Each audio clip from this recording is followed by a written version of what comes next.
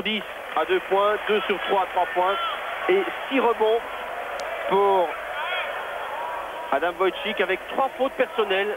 C'est ce que craignait Giovanni Bozzi. Le problème de faute pour Adam Wojcik, eh bien, ce sera à n'en point douter l'un des, enseignements, ils ne seront pas nombreux certainement, mais l'un des enseignements positifs pour Charleroi, Élite, Barbier pour 2NF. Et remise en jeu en ligne de faux pour Madrid. Jean-Pierre Barbier qui s'excuse auprès de Marc de NF.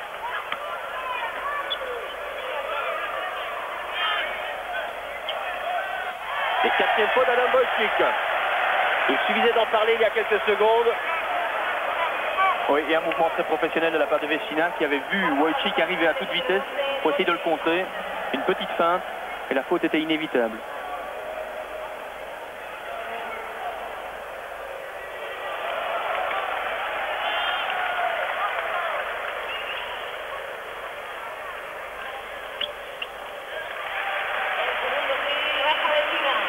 88-67, 3 minutes 30,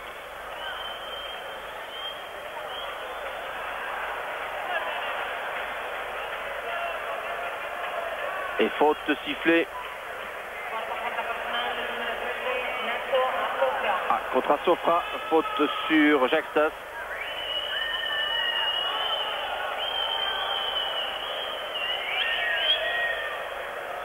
Premier lancé franc converti, 88-68.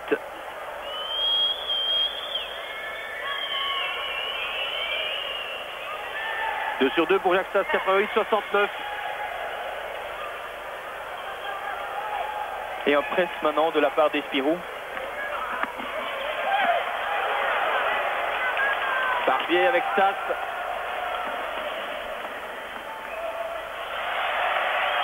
Faute offensive déjà.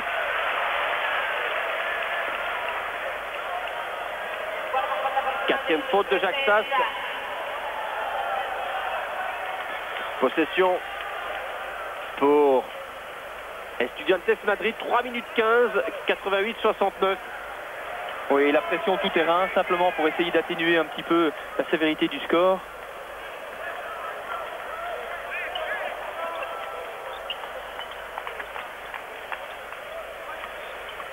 Marché. Le sifflet contre Jiménez. Possession pour Charleroi avec une latérale avec Jean-Pierre. Alors que certains supporters semblent s'endormir derrière Jean-Pierre Barbier. C'est l'impression que cela nous donne. Jean-Pierre Barbier et Jacques Stas en, en conversation alors qu'on est en train de débarrasser le parquet d'une tache de, transpiration, d'humidité. Stas et le public madrilène qui, qui félicite son équipe. Une deuxième victoire en Euroleague. C'est important pour Madrid. Tentative à trois points manqués de Jean-Pierre Barbier. Attaque maintenant des Madrilènes encore avec euh, Azofra. Excellent distributeur. 27 ans. Où il a posé énormément de problèmes au distributeur euh, d'Espiro avec ses pénétrations et ses assists. On le revoit encore maintenant avec une faute de Jacques Sass, la cinquième. Jacques Sass qui quitte définitivement le jeu. 8 points pour Jacques Sass.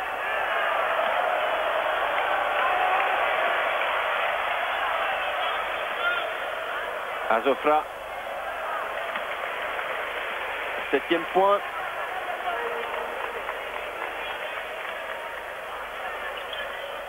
90-69 en faveur de Madrid. 2 minutes 25 secondes encore. Deuxy. Barbier. Wojcik. Qui tente sa chance et qui manque cette fois. Rebond facile pour Jiménez. Asofra. Relais avec Garcia.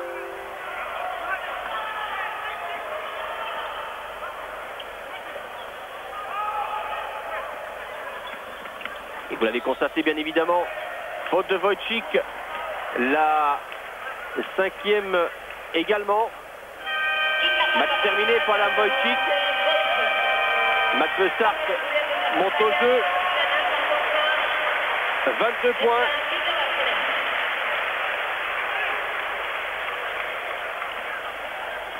Et depuis plusieurs minutes, eh bien, les Madrilènes évoluent sans renfort américain. Chandler Thompson va remonter au jeu pour permettre à l'un ou l'autre joueur à nouveau d'être ovationné par les 3-4 000 spectateurs présents. C'est le cas de Jiménez maintenant. Carlos Jiménez remplacé par Thompson. 4 points pour Jiménez. Dezi, Ellis, Bessart, tentation à 3 points, manque, rebond pour Thompson. Casca. Oh, les Espagnols qui vont sûrement terminer le match au petit trot.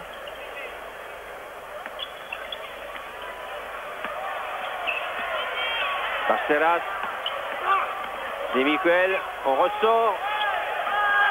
C'est Miguel encore.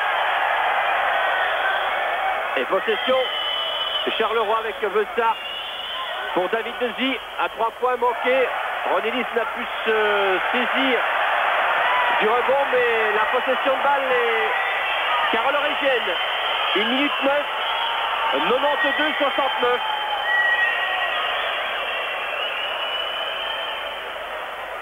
Dezy, Bessart. Et 3 points de Ronelis. 92-72. La moyenne point de Charleroi est pratiquement atteinte. Avec 74.3 de moyenne, je vous l'ai dit, en cours de reportage. Par contre, on est un peu en deçà pour la défense. Faute de Garcia. Troisième faute. Distributeur sur Ronelis.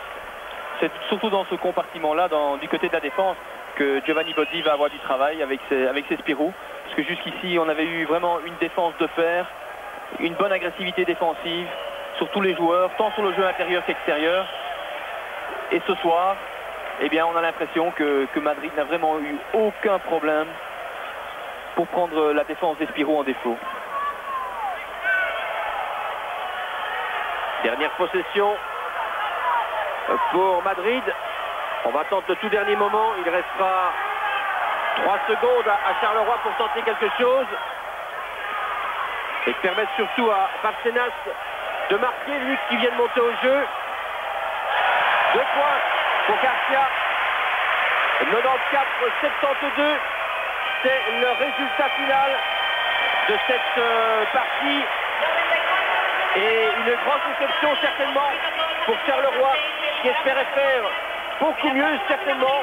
Le résultat euh, final, 22 points finalement, cela traduit la physionomie de la partie. Tout à fait Pierre. On a eu un match, vous l'avez dit, à sens unique. On a vu une seule équipe sur le terrain. Du côté des Spirou, seule satisfaction, c'est la bonne prestation de Wojcik. Même si sur la fin, euh, Ellis a un petit peu retrouvé son adresse avec quand même 20 points. On voit les, les statistiques de fin de rencontre. Du côté des Spirou, eh bien, on peut déplorer le 39% à 2 points, c'est vraiment trop peu. 33% à 3 points, c'est aussi catastrophique. Énormément de shots à 3, à 3 points qui ont été tentés, 27 au total. C'est parce qu'on ne trouvait pas la faille dans cette défense madrilène. Donc beaucoup de choses à travailler à l'entraînement dans les, dans les semaines qui viennent. Eh bien voilà, on va se, quitter euh, depuis le, palais des sports de Madrid. C'est une déception. On attendait beaucoup mieux de la part de, Charleroi. Ce soir, 94-72, c'est le, résultat final de cette euh, partie. Une victoire, une victoire importante pour Estudiantes euh, Madrid. Une deuxième victoire pour les Madrilènes. Toujours pas le moindre succès. Quatrième défaite consécutive pour l'équipe de Charleroi après Bologne, après Zagreb, après Olympiakos et surtout ici même à Madrid. Mais l'important, l'important ce sera absolument de se ressaisir. Giovanni Botti a une semaine pour tenter de corriger les imperfections qui sont apparues au grand jour ce soir à Madrid et surtout pour tenter de s'imposer à, Berlin parce qu'il faut à tout prix, à tout prix éviter cette dernière place. Donc mission maintenant obligatoire s'imposer à, Berlin. Henri Govard et Pierre Robert, on vous souhaite une excellente fin de soirée. À très bientôt avec le basketball sur 21. Bonsoir. Bonsoir.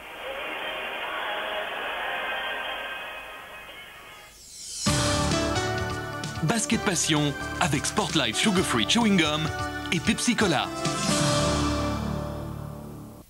daddy.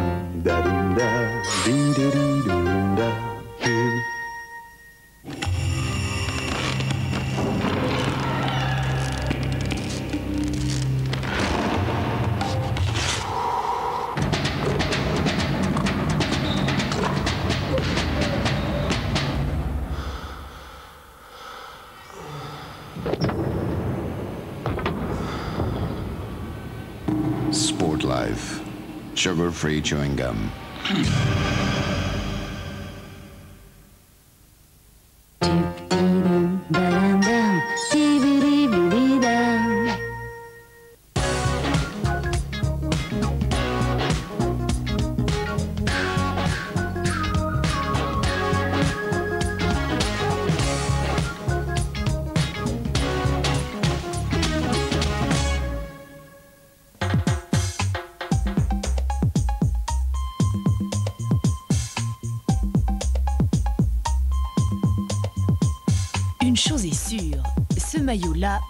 plus d'un. Alors dimanche, en direct, 21 vous racontera tout du championnat du monde cycliste, y compris nos espoirs les plus fous. Rira bien qui pédalera le dernier. Dimanche à 9h50, le championnat du monde cycliste, c'est sur 21.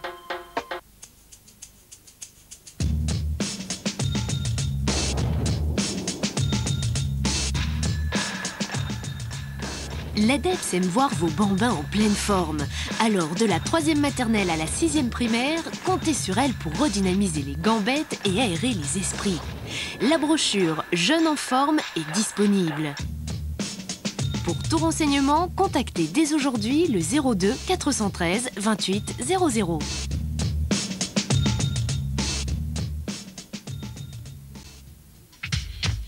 Avec le télétexte interactif de la RTBF, participez au championnat de Belgique de basket. Composez votre Dream Team personnel, modifiez-la autant de fois que vous le jugerez nécessaire, accumulez le plus de points et gagnez des traversées avec voiture Calais Douvres. Vous trouverez toutes les explications du concours à la page 695 du télétexte.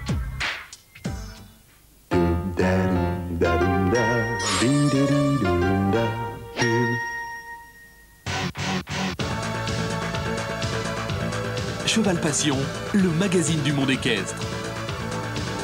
Cheval Passion, le cheval dans tous ses états. Cheval Passion, à suivre sur 21. Avec la brasserie Pâle.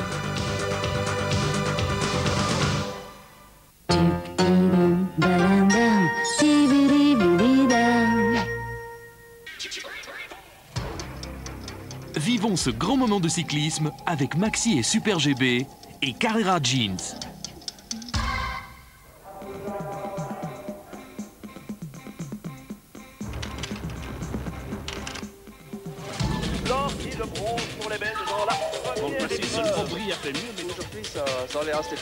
Plus vite par kilomètre.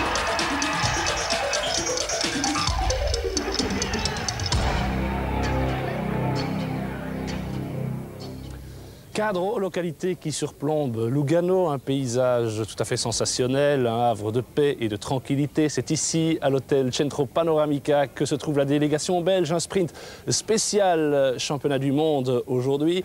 Et puis vous rappelez aussi que cette région magnifique accueille pour la troisième fois les championnats du monde.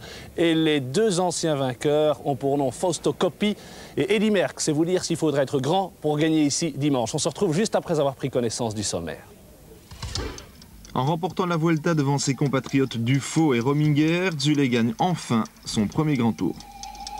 Portrait de Lance Armstrong, ancien champion du monde engagé dans un nouveau combat. On parle beaucoup de dopage dans le cyclisme ces derniers temps. Qu'en est-il exactement? Alors Ernest Deveus, président de la Royal League Vélocipédique belge, vient de nous rejoindre. La question que tout le monde se pose, eh cette délégation belge, elle vient ici avec quelle ambition, président?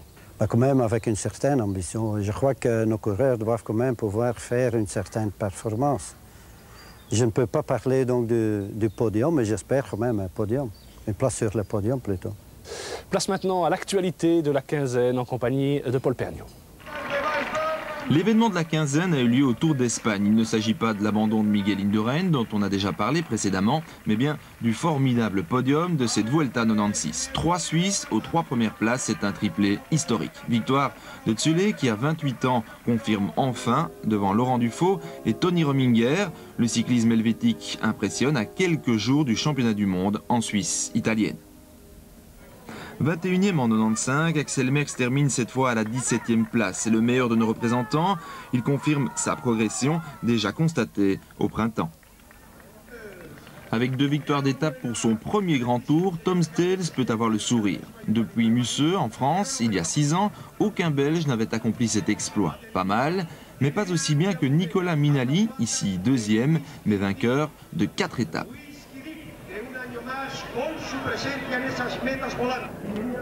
Minali Stels, on prend les mêmes et on recommence à Paris-Tour. Victoire au sprint de l'Italien devant le Belge. Dommage pour Stels qui, après ses succès au vol qui à Gand-Wevelgem, s'était fixé comme objectif la première place à Tours à l'occasion de la neuvième manche de la Coupe du Monde. Et à propos de Coupe du Monde, Johan Musseux aurait bien voulu asseoir définitivement sa suprématie au classement général. Le leader de ce classement était très fort dans les jambes, peut-être un peu moins dans la tête. Johan attaque de loin, mais il sera débordé. Il termine 20e, Ferrigato 7e et Bartoli 6e, reste encore menaçant avant le Tour de Lombardie et la Japan Cup, les deux dernières épreuves, comptant pour la Coupe du Monde. On termine par quelques images du championnat du monde de VTT qui se déroulait en Australie avec la victoire chez les moins de 23 ans de l'Italien Dario Acquaroli devant le Français Martinez.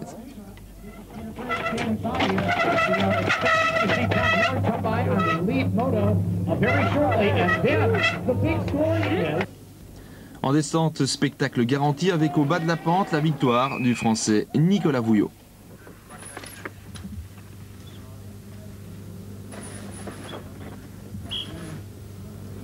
On termine avec notre classement du Belgo Sprint. Toujours premier Johan Musseux, 434 points. Peterse deuxième, 353 points. Suivent Capio, troisième, Van Petegem, Stels, Merckx, Bomans et Strel. Le dernier champion du monde, ici dans cet endroit superbe qu'est le, le, Tessin, c'est Eddy Merckx, champion du monde à Mendrisio en 1971. Eddy Merckx qui est justement coach de la délégation belge depuis 10 ans très exactement. Alors Eddy, le forfait de Frank Vandenbroek, euh, Johan Brunel qui n'a pas les jambes, Musset qui n'aurait pas la tête, on a beau être d'un naturel optimiste, euh, avec toutes ces conditions-là, on, on peut quand même se poser des questions et je crois qu'il faut rester réaliste quand même pour dimanche. Oui, il faut rester réaliste, mais enfin, il ne faut pas être défaitiste non plus. Et je pense que la course doit toujours être euh, courue. Bon, Musset, c'est un, une première réaction après désarroi ou bien euh, Paris-Tour. Bon, il y a quand même Brunel qui, qui, s'améliore. Et bon, il y a Axel qui, qui, peut faire une belle course après moi. Donc, euh, bon, certainement, un podium sera difficile sur ce parcours, mais pourquoi pas ces dernières semaines, c'est l'image même du cyclisme international qui a été fort ternie par euh, de graves accusations, des rumeurs relatives au dopage, la suspicion autour de certains cas, l'enquête de Laurent Bruvier. La brillante performance des télécoms au dernier Tour de France n'a pas convaincu tout le monde. Après la victoire de Ries, on a recommencé à parler d'EPO, érythropoïtéine, dans le peloton. Cette hormone qui multiplie le nombre de globules rouges permet une meilleure oxygénation, améliorant sans conteste les performances physiques. Mais ce n'est pas là le seul effet qu'elle produit qu'il y a une augmentation de la viscosité du sang. Cette augmentation de viscosité peut entraîner de l'hypertension, peut entraîner des, poussées aiguës de maux de tête et peut aller jusqu'à jusqu'à la mort. Accusé par Uwe Hampler, ex-coureur de la formation Télécom, d'employer cette substance interdite, Walter Gottfried, le directeur sportif, se défend. J'ai des preuves qu'il est allé voir 3 à 4 médecins différents lorsqu'il était dans notre équipe. Il a aussi été chez le docteur Conconi en Italie, après quoi nous avons reçu une note faramineuse de ce médecin, que Hampler voulait que nous lui remboursions, ce que nous avons refusé. Et dès lors, il a introduit une plainte contre nous. On attend toujours la décision de la justice. Il a eu même l'interdiction de parler de cette affaire. Lors du premier jugement, il a été condamné. De toute façon, il n'est pas dans son droit. Dès lors, nous avons porté plainte contre lui. Après un pleur, Rab, ex-coureur de chez PDM, a porté une explication au retrait complet de l'équipe au Tour de France 91. Les coureurs auraient été victimes d'un produit destiné à masquer un dopant. Resté dans la voiture par 40 degrés, cette substance aurait provoqué une sorte de salmonellose. C'est du passé cette affaire, et tout le monde le sait. Nous sommes au départ de Paris Tour et nous nous concentrons pour cette épreuve. Le reste, c'est du passé. Troublante également les deux défaillances collectives des ONC, car comme les PDM, les hommes de Manolo Sainz ont sombré corps et âme dans le Tour et la Vuelta cette année. Double victime, Laurent Jalabert. Le Français n'a pas été épargné par les sous-entendus dans les journaux étrangers comme dans les colonnes des quotidiens nationaux. Mais le Mazamétain ne s'émeut pas, il prend les choses avec philosophie. Dit maintenant, je sais que je peux connaître mes amis dans le milieu de la presse. Non, mais il est clair que dans le milieu de la presse, j'ai pas d'amis. C'est des gens avec qui on, essaie de travailler plus ou moins bien. Et puis bon, apparemment, euh, c'est pas toujours euh, très très bien, mais bon, j'ai quand même des gens que j'apprécie. Vous pensez que quand il y a une équipe qui marche bien dans un tour, on essaye toujours de démolir, que ce soit Télécom, puis Yaoundé, c'est... Bah, je, me, je me suis pas trop intéressé euh, à ce qui s'est dit après le tour. J'ai pas souvenir d'avoir lu ce qu'on a pu lire euh, après la Volta quoi, hein, au sujet des télécoms. Donc, euh, c'est peut-être qu'on en a pris l'équipe en aussi. Certains affirment que les chercheurs qui, cherchent à contrôler le, dopage qu'il pourrait y avoir sont toujours en retard vis-à-vis des médecins qui, eux, euh, savent très bien quel produit donner. C'est ce qu'on affirme. Moi, je suis ni médecin ni chercheur. Euh, c'est sûr qu'il y a sûrement certaines personnes mal intentionnées qui sont à la recherche de produits de ce type-là, euh, mais je crois qu'on a fait de très très gros progrès dans le, contrôle antidopage, euh, que l'on arrive maintenant à vraiment déceler des produits décelables. c'est sûr qu'il y aura toujours une course qui peut être préjudiciable pour le sport, mais ce n'est pas quelque chose qui est flagrant dans le sport cycliste, c'est quelque chose que l'on retrouve dans tous les sports. le sport cycliste est un sport qui vient souvent à la une de l'actualité par rapport à ces faits-là. Premièrement parce qu'il y a des rumeurs et deuxièmement aussi parce que c'est un sport qui est énormément contrôlé par rapport aux autres sports. La presse a continué ses investigations. Certains confrères annoncent qu'au Dauphiné libéré, la Fédération française aurait passé l'éponge sur 16 cas de dopage parce qu'un gros bonnet tricolore était dans le groupe. Vous ne pouvez pas, euh, comme ça, sur le, bruit, sur la rumeur, dire des choses comme ça, parce que l'UCI d'abord a démenti. Je vois mal la Fédération française euh, cacher euh, ces problèmes-là. Je suis très à l'aise pour en parler parce que quand la rumeur a dit que j'avais deux coureurs de positifs, Gaumont et Desbiens, oui, j'ai dit oui, il y a deux coureurs positifs. J'ai pris les sanctions qui s'imposaient sur le moment. Je pense avoir pris les bonnes décisions. Je pense que si tout le monde faisait comme moi, je crois qu'il y aurait ce serait beaucoup plus clair. Et euh, pour ce qui concerne la rumeur, je crois qu'aujourd'hui, euh, le président de l'UCI euh, et le président Daniel Ball et le ministère des Sports n'a jamais totalement démenti cette rumeur. Je crois qu'on ne peut pas désavouer, donner une mauvaise image toujours sur des rumeurs.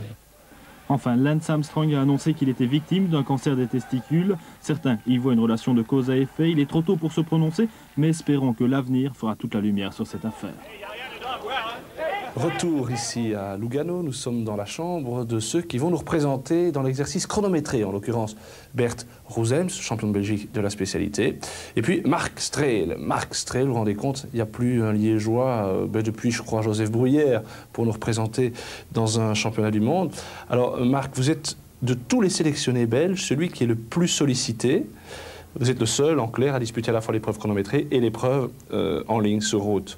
Alors, outre la fierté légitime que cela doit procurer, vous venez ici avec quel objectif? Pour dimanche, ça va être de montrer d'abord le maillot national, essayer de, mettre en évidence les couleurs, de faire honneur à l'équipe belge. Et euh, je sais que je n'ai peut-être pas pour le moment les, capacités de jouer un rôle dans la finale, mais si je peux donner un sérieux coup de main à l'un ou l'autre qui pourrait euh, décrocher le titre ou faire faire un bon résultat, moi je serai là. Mais euh, avant tout, je vais essayer, il y a souvent une, échappée matinale, je dois un peu discuter avec, euh, avec M. Merckx. Et euh, si je peux me glisser dans une longue échappée et me mettre en évidence, je, tâcherai de le faire. Voilà donc pour tous les supporters de Marc Strel, eh bien soyez déjà branchés très tôt le matin dès le départ sur 21. Vous risquez, on l'espère, de le voir. Nous avions prévu, nous avions programmé depuis longue date de vous présenter maintenant le profil d'un ancien champion du monde, champion du monde à Oslo en 1993. Lance Armstrong. Les tristes nouvelles de ces derniers jours qui nous ont informés de son cancer des, testicules euh, ne changent rien évidemment à, notre programme. Mais, Armstrong commence maintenant probablement le, combat le plus dur de toute sa vie.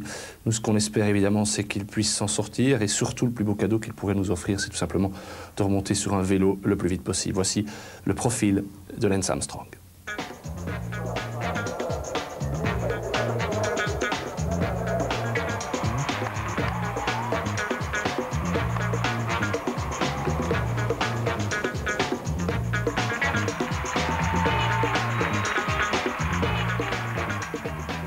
Armstrong est le porte-drapeau du cyclisme américain depuis quelques années, depuis le retrait de Greg LeMond, celui qui fut à l'origine de bon nombre de vocations aux États-Unis. Âgé à peine de 25 ans, Lance Armstrong peut malgré tout être considéré comme un coureur expérimenté tant le nombre de titres accumulés par le Texan est grand. Sous les couleurs de l'équipe américaine Motorola, il a en effet conquis des victoires dans des classiques tels que celle de San Sebastian en 95 ou la Flèche Wallonne cette année. Mais c'est avant tout le titre mondial décroché à Oslo en 93 avec le maillot de champion des États-Unis sur les épaules qui a permis à Lenz de se faire un nom et de conquérir le cœur de tout un pays. À 21 ans, ce jeune costaud originaire de Dallas est ainsi propulsé sur le devant de la scène par le biais de cette fantastique victoire glanée dans des conditions atmosphériques dantesques. Je n'avais jamais vu des routes aussi glissantes. On roulait comme sur du verglas. Pourtant, il ne faisait pas froid, mais ce n'était pas de la glace. C'était juste mouillé, mais je vous jure que sous les roues, cela ressemblait vraiment à de la glace. En 93, l'éclosion de Armstrong ne peut pas mieux tomber pour le cyclisme américain. Avec la fin de carrière de Lemond, l'Amérique a besoin de se trouver un nouveau héros et Armstrong semble tout indiqué pour tenir ce rôle à la perfection. Sa popularité ne cesse en effet de croître auprès du public américain, un engouement que Lenz s'est d'ailleurs chargé d'entretenir en remportant le Tour du Pont à deux reprises en 95 et 96. Autant de victoires conquises sur le sol US qui ont contribué à faire du Texan le numéro 1. Et parmi les images fortes qui ont marqué la carrière du coureur Motorola, comment ne pas retenir celle de ce Tour de France 95, où trois jours après la mort accidentelle de son jeune équipier, Fabio Casartelli, Armstrong emportait la 18e étape à Limoges en s'adressant par le geste à son ami disparu, lui dédiant ainsi la victoire, un moment d'émotion d'une rare intensité. Fabio m'a motivé plus que jamais aujourd'hui, et pas une seconde, il n'a quitté mon esprit. Les gens le long de la route n'ont pas arrêté de répéter son nom, je ne pourrai jamais oublier ça. Il ne s'est pas passé une minute sans que je n'entende le nom de Fabio. Armstrong les motifs, mais aussi Armstrong le dur à cuire, qui ne s'est pas fait que des amis dans le peloton, où son caractère n'est pas toujours apprécié. Le français Bouvard peut le confirmer. Un tour 96 froid et pluvieux lors des premiers jours, pas évident. Lorsqu'on préfère comme Armstrong pédaler dans la chaleur, l'abandon précoce de Lenz n'est donc pas une surprise. La pluie en soi ne me dérange pas tant qu'elle n'est pas trop froide. C'est ça qui ne me plaît pas. La pluie froide, c'est très mauvais. À Atlanta pour les Jeux, un des principaux objectifs de Armstrong, il n'a pas plu. Et il a même fait très chaud, mais Lenz n'en profitera pas. Il ne finira que 12e. Armstrong, un coureur de classique plutôt que de grand tour. Sa victoire en avril dernier à la Flèche Wallonne l'a encore confirmé.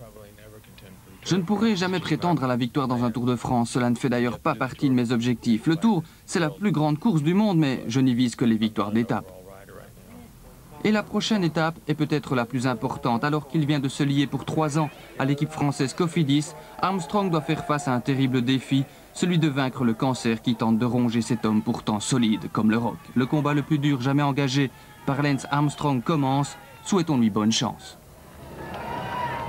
Nous voici maintenant dans la chambre ben, de celui dont on a le plus parlé depuis le début de la semaine, Johan Museeu. Il a reconnu déjà le parcours il y a de cela huit mois. À l'époque, il nous disait « il est trop dur pour moi ». Alors Johan, est-ce que vous pensez toujours la même chose euh, aujourd'hui? Non, c'est la même qu'en janvier. Euh, c'est trop dur, le circuit. Mais j'ai fait le maximum. Euh, j'ai encore une bonne condition. J'ai fait le maximum, mais je pense que la course va exploser. Trois ou, quatre, tours de l'arrivée. Je pense, moi j'ai explosé aussi. Je suis d'accord, mais vous venez de vous entraîner très dur, plus de 7 heures aujourd'hui. Et je ne peux pas m'empêcher de penser aussi à, votre attaque dans la dernière côte de Paris-Tour. Vous avez mis 10 mètres à tout le monde dans ces conditions. Est-ce qu'on ne peut pas espérer mieux encore? Ici, c'est presque 2 km, 2, km et demi. Et chaque tour, euh, c'est pas, pas le même qu'à Paris-Tour. Je passe bien un petit boss, mais ici, c'est pas un petit boss. C'est un, circuit pour un vrai grimpeur. Bon, mais d'accord, je, veux bien vous croire, mais, je rappellerai quand même euh, à nos téléspectateurs qu'il est déjà arrivé dans le passé que Johan dit c'est trop dur pour moi et qu'il gagne quand même, alors sait-on jamais. On va maintenant passer à notre rubrique Regard de champion. Cette fois-ci, c'est Glenn Dolander euh, qui est jugé, décortiqué par quelqu'un qu'il a bien connu, qu'il a eu dans son équipe, en l'occurrence Dirk De Wolf. Regard de champion. Wolf, à quel autre coureur vous fait penser euh, Glenn Dolander? Oui, un coureur comme euh, Johan Brunel, je pense. Pourquoi? Il est un bon contre-la-montre. Il est un coureur pour euh, des courses par étapes. Lorsqu'il était amateur, quelles étaient les, grandes qualités de Glenn? Les grandes qualités de Glenn en amateur, elle est, je pense, une des meilleures euh, contre-la-montre en Belgique. Il est un bon coureur dans des courses par étapes comme euh, Triptyque Ardennais, Tour d'Autriche et tout le, Grand Tour en amateur. Elle a la qualité pour euh, gagner euh, un podium à toutes les courses par étapes en, amateur. Aujourd'hui, quelles sont les, grandes qualités de Glenn Delander? La grande qualité, je pense, que la première fois, elle était dans une bonne équipe. L'an 2002, elle était une très bien équipe pour lui. Il a fait le bon course pour lui aussi, c'est Trentino, Romandie, Murcia, tout de l'avenir. Et son sportivité, c'est il n'est pas peur pour attaquer dans la course. Quel est son défaut? Le défaut, c'est la descente. Hein. est beaucoup de peur euh, en descente. L'année passée à Serein, Serein, elle est une fois chutée euh, dans la descente. après Autriche aussi, elle est à la elle est trois minutes devant. Elle est perdue 4-5 minutes en descente. Euh, cette année aussi, en Tour de l'avenir, elle a beaucoup de, beaucoup de temps perdu à une descente. Ça, c'est encore le défaut de Glenn Physiquement, il possède des capacités assez élevées. Oui, elle a beaucoup de capacités. Moi, l'année passée, j'ai fait le test à à l'université avec lui. Elle a beaucoup de, capacités pour euh, revenir un, grand coureur, lui. Et mentalement, dans la tête? Oui, la mentalité, peut-être dans la tête un peu, elle est toujours peur un peu. Elle est, euh, voilà, mon jambe est mal et ça, si, mais ça, c'est la mentalité de Glenn. Moi, connais lui un peu, et très bien, je pense, après une année. Elle est une mentalité pour euh, dire à son équipier, voilà, aujourd'hui, ce n'est pas pour moi, mais elle est toujours là, je pense. Un pronostic, une victoire l'année prochaine Oui, je pense une course comme euh, Flèche Brabant.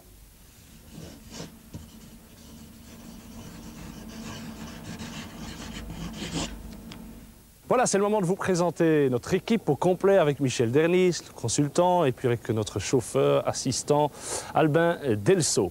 Vous le savez, euh, les championnats du monde en cyclisme, ça a quelque chose de particulier. Je crois que c'est le seul sport où ça arrive. Tout se joue en un seul jour. Autrement dit, il n'y a pas de possibilité d'appel, il faut être bien le jour J. Mais cette année, pour la première fois, on ne parle plus de championnat du monde pour amateurs.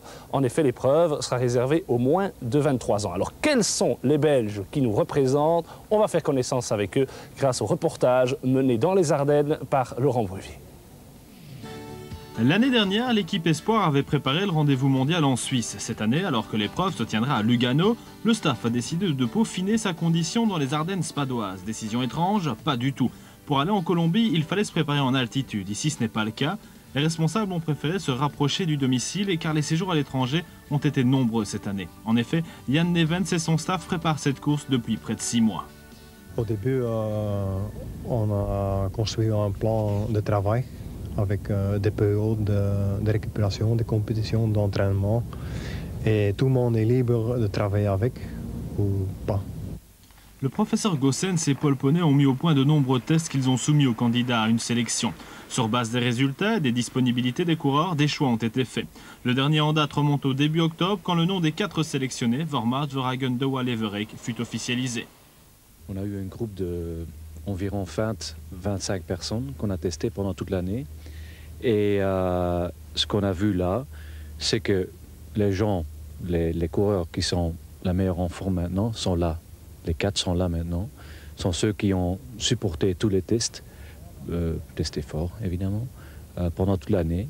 Et euh, ce, ce qui concerne les tests, sont des tests sur le vélo, quoi. Ce qu'on a fait dans le labo, à la VUB. Actuellement, on ne fait plus des tests, on fait des, entraînements euh, différés, personne par, personne, parce que chaque personne ne réagit pas de la même façon aux impulses de l'entraînement. Et parce qu'on a fait hier un entraînement relativement long et aussi dur, euh, il est évident que chaque coureur doit faire un entraînement de récupération relatif de sa propre manière, et c'est ça ce, euh, ce qui s'est produit aujourd'hui. En adaptant les entraînements aux capacités des coureurs, Paul Poney a formé deux groupes. Verrek et Vermaut, ici à l'écran, étaient autorisés lors de notre visite à avaler les kilomètres, récupérant mieux que leurs copains. Le coureur de De Wolf et celui de Paul Entier devraient figurer parmi les 20 premiers du championnat. Vous êtes content de cette sélection? Euh, oui, j'étais très heureuse. Euh, C'était très bien ici dans, dans le stage et tout ça. Quels sont vos espoirs, quels sont vos objectifs pour ce championnat du monde? C'est difficile à dire, euh, je connais pas toute euh, la concurrence, mais je vais essayer de, de rouler pour, euh, pour, pour gagner, hein, mais si si c'est pas le, le cas, c'est pas grave. hein. C'est très intéressant de participer à ce stage. On a pu rouler à l'étranger et c'est mieux que de participer à des petites courses en Belgique où on n'en prend plus grand-chose, contrairement à l'étranger. Maintenant, j'ai une, belle, une bonne condition et euh, la préparation euh, était très bonne. Nous avons roulé sur les Alpes, euh, sur les Ardennes, et etc. Et euh, j'ai étudié beaucoup euh, de cette préparation. Rolf, quelles sont vos ambitions, quels sont vos espoirs pour ce championnat du monde? Euh, pour le course, euh, rouler pour un bien résultat. Là. En pleine restructuration, notre cyclisme a besoin d'un bon résultat pour confirmer que la méthode est la bonne et que la victoire ne nous tournera bientôt plus le dos. Voilà, cette émission est maintenant terminée, mais avant de se quitter, je vous propose de prendre connaissance des visages qui vont défendre nos chances dimanche dans l'épreuve sur route réservée aux élites. Nous représenterons dans l'épreuve chronométrée Bert Roussems ainsi que Marc Streel, qui sera lui aussi dans l'épreuve sur route, avec Glenn Dolander, avec Erwin Theys, Mario Hartz.